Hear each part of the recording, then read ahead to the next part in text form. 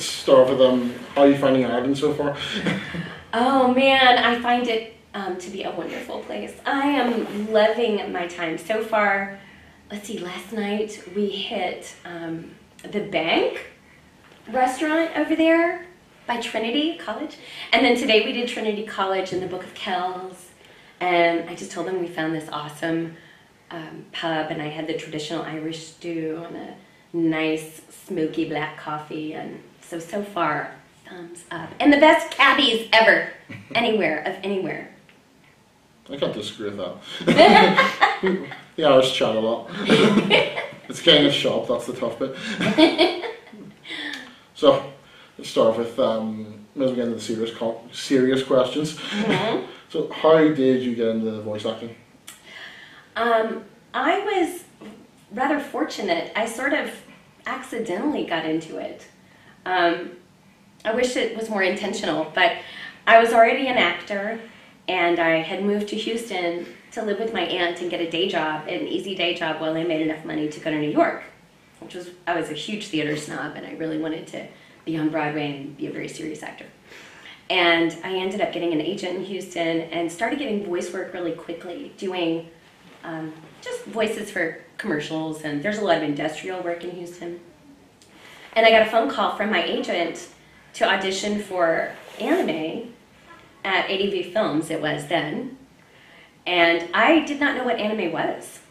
Uh, my only experience had been exposure to what some of the boys in college watched, which was hentai. And so when I got this call from my agent, I was like, I, I don't know what kind of girl happening. And they were like, no, no, no, no, this is just come. Anyway, I got into it then. I booked a little small part, and there was a new director at ADV named Don Rush, and he was about to direct a show called Full Metal Panic. And he asked me to audition, and I got the lead in that show, and it turned out to be kind of a big show. And I just hit at just the right moment and began getting a ton of work. And that was, oh my gosh, 13 years ago? Um, so I, I literally, and it wasn't until I was cast in Full Metal Panic, Don said, um, this, this is kind of a big show. You might want to go online and learn a little bit about it. And I was like, okay, huh. So I went online and was entirely shocked to realize that there was this huge fan community and people who would review your work and critique you and I had no idea. And of course at the time I was like, they're going to hate me. I don't know what I'm doing. I, have no idea what I'm doing. What if I'm terrible at this? This entire community of people in the world is going to know because they all. Anyway, so that was my sort of inglorious stumble into doing anime voiceover. And it just turned out to be a really good fit for me, you know. Right, well, you mentioned um, Full, Metal Panic, but uh, what's been your favourite role you played so far? Well, I have I have lots of favorites. Um, because for the longest time, my favorite was easily Princess Tutu. Because it was the first show, we all have that first show. And that was the first show that I was actually a part of. I got to be a part of it where it just caught me. Everything about it caught me. And I was really invested in it and invested in the story. And um, but since then, I've I've added different shows um, just because my repertoire and my exposure has gotten bigger. Soul Eater, I think, is incredible. Um, plus, that was one of the most um, evil, truly evil characters I have ever played in Medusa, the Snake Witch. Um, But you were awesome in, by the way. thank you, thank you, thank you very much. Medusa must be fun to play. It's so fun. Well, and then and then there, you know, in a different category of favorite, um, I've been allowed to be Nami in One Piece for ten years now, which is such an incredible opportunity. It just doesn't happen for many of us that you get to stick with a show that long. Um, you know, there's like a handful of shows that have hundreds of episodes, and so I think those of us that get to be a part of those shows um, have a sense of how truly fortunate we are to get to follow these people through so many different character arcs. You know, that's just, it's rare. It's just rare. Okay. any upcoming roles you can tell us about as well? Or you not allowed to say? Well, now the companies don't want us to talk about anything. We're not allowed to ever say anything. Um, but there, there were some recent things that are already out that are not secrets, which is it was a huge honor to play Ochako in My Hero Academia. That was a huge honor. Um, what else? John Swasey and I are here um, to talk a little bit on Sunday, I think, maybe tomorrow, about uh, The Boy and the Beast. That was a huge honor. Um, that was still fairly, fairly recent. Um, Parasyte the Maxim out of, off, through Seraphim was on Toonami recently. That was a super fun honor. Um, yeah, I don't know if I get to talk about anything else. I'm going to deviate from the voice acting because you, you mentioned something earlier about being a bit of a theatre snob. So I'm going to have to ask you favourite theatre pieces? Ah. Plays or musicals, your choice. Well, I join the rest of the free world in having a total fixation on Hamilton right now. Oh yeah. Yes. I, I mean, I know, I know. When I was picked up from the airport, Risa Risa had it playing in her car. So we sang it together coming to the hotel. Well, what's your favorite track of Hamilton then? Oh my gosh. Satisfied, the song Oh Satisfied. yes. Sorry, I got excited. It's incredible. I know. It's incredible. My daughter, my six year old daughter the other day, asked if I would play Satisfied off of that album. Except she didn't say that. She was like, you know the one where she says, Where's your family from? And I was like, That's Satisfied. We've got little theater people in the making, as it should be. I think for me, it's Lion Wait. It's one of my favorites as well. Which one? Lion Wait, Oh, track 13. yeah. See, I've, That's I've- incredible. I've got her hooked on it now as well, and my girlfriend's also hooked on it. Because a lot of people obviously haven't seen it yet. Yeah. But it's just, it's a case of just, just listen to this one song, and then this song, and this one, and this one, and this one, and this one. Yeah. And two hours later, they've heard the whole thing. It's incredible. We bought it for my mother-in-law um, for her birthday, for Mother's Day, because she also and she. I was like, Michael, I don't know. I don't know if she'll hang with the language. I don't know, but she loves theater, and sure enough, like later on that day, she was like, I'm halfway through. I had to stop it because I had to make dinner. You know, but. it's just wonderful. And I mean, that's the thing, right, about theater that's just so fantastic is, um, and especially that piece, to to attract so many people into the same conversation, you know, and to to set on fire this uh, enjoyment of history and how life intersects with art and just all of that. It's so exciting. It's not just that. It's um, I think as well. You learn so much about one man through two hours, more than you would probably from picking up a textbook, hmm which is great. And a lot, even some of the themes in that are still very relevant today. So it's a very good piece. Yeah. A big fan. So it's good to be another fan. Yes. Yes. So what uh, what originally attracted you to theatre? What what uh, early on in your career was drew you into wanting to be an actor? Well, um, I am from small towns all over Texas. My dad was a football coach, and we would we moved a lot growing up. And he was a football coach, and he had cows and stuff. And I was never good at it. I wasn't good at sports. Um, I was a team player, which means I was good at sitting on the bench and clapping for other people. But when I get in, I I would have all this want, desire to do well, but would not materialize in any kind of skill. Um, and I was just an average student, um, but I was really good at acting. Um, in my small town, we, we were too small to have sort of an acting class or any kind of drama club, but we did, we competed every year in these competitions. And it was the first thing I ever just excelled at naturally. I didn't really work, it's not that I didn't work hard at it, it's just it was a fit Just came naturally. Yeah. excuse me, getting over a cold. Um, and my senior year, I was offered some scholarships um, to do to do that. So I ended up looking looking around and went and auditioned at a college in Texas called Angelo State University and was offered a full ride if I would change my major from journalism to theater. And that day is when my dad became a supporter of the arts. Up until then, you know, it's kind of like, what are you going to do? You can't be a, an actor. Who gets a theater degree? What do you do with that? But if they pay your way to school, your family really gets on board. and then it just turned out that um, I was just suited to it. I'm, I'm just suited to it. And I've been lucky that I, I got that degree. I went on to get a master's degree.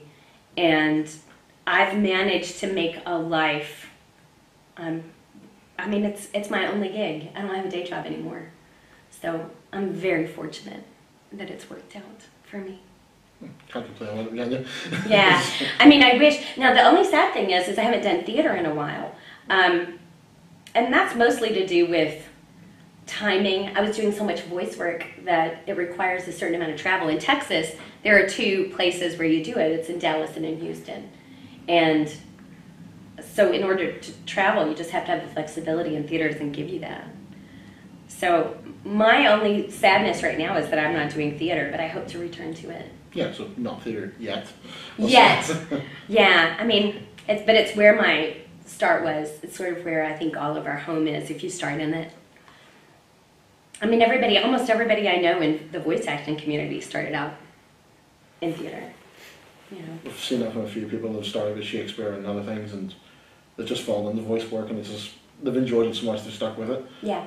Because you can, especially nowadays, I find that the, the voice acting has really improved since. Let's look at like early anime from the 1980s and the 1990 early 1990s when it was. Yeah.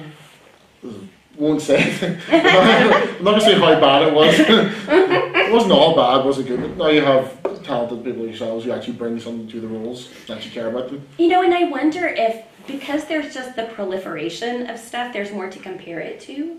That the audience is more just more discerning, where, you know, I mean, there you can com- there's just so much to compare now, where you can go, oh yeah, that's bad and that's better. That's better than that, you know. But I think there's a point at which, like back then, um, when you hear some of the older fans talk and they say we were just so thankful to be watching it Oh, yeah. you know, that we didn't care.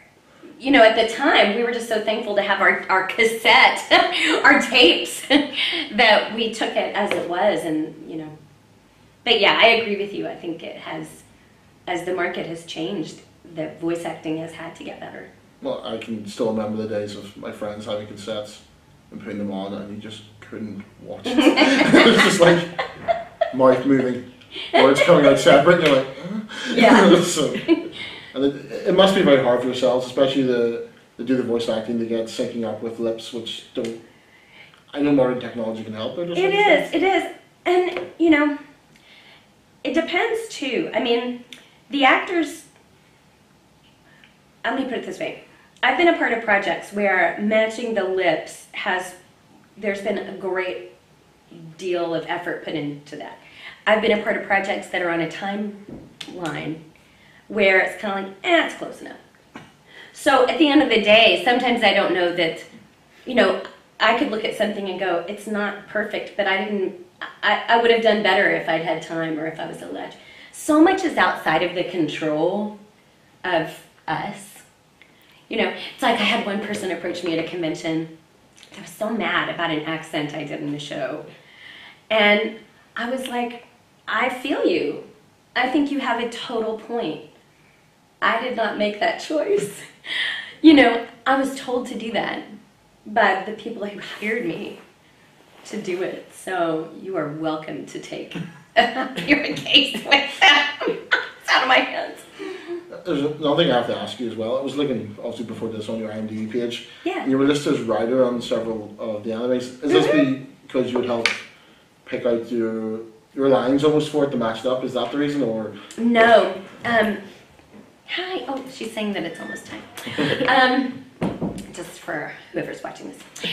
Um, yes, I was. I spent a. There was a moment in Funimation's history where I was a sub-writer for one of their writers, and it turned out it was when my husband and I we were really trying to pay off all of our debt, and so I was a sub writer for a while. I wrote most of D. Gray Man, the first season, or a lot of it. I wrote a lot of D. Gray Man. And I wrote almost all of a show called Bamboo Blade.